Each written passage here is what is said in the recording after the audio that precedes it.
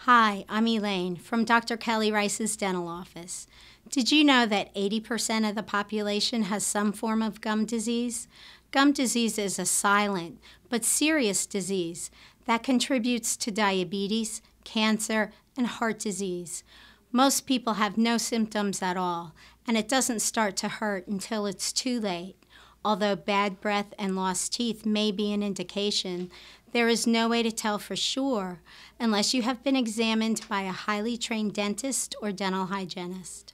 Gum disease can adversely affect your health if gone undetected.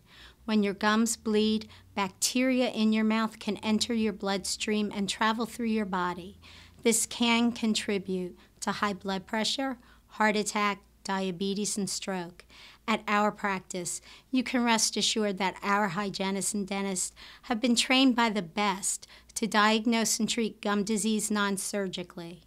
We will complete a periodontal evaluation of your gums and develop a custom plan to fit your needs and goals for your smile in order to keep your teeth healthy for a lifetime.